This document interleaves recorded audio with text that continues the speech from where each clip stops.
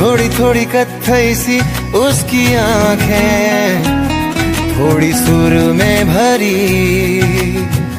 उसके होठों पे मुस्कुराए, हाय दुनिया मेरी।